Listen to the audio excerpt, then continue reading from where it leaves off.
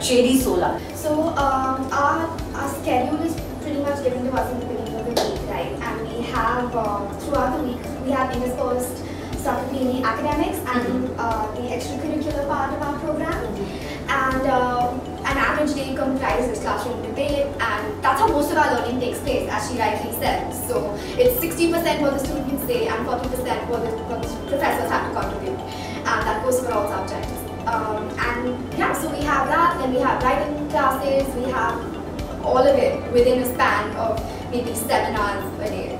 We had a chance to actually learn from uh, this theatre personality, uh, Mr. Sunil Sharma, and it was the most most learning. It's, I mean, I've never learned so much about theatre that I did in those 45 sessions. And uh, then we had a chance to actually, you know, get his inputs on our directed plays, so which was great again. Um, to add to that, I would also say that um, we have course called Ideas and Issues, where we uh, come up with a topic that we like and we have a debate on that. So we recently came up with the topic of Article 377 and the, the amount of things that I've learned in that one or two hours say, I haven't learned about this article ever in my life.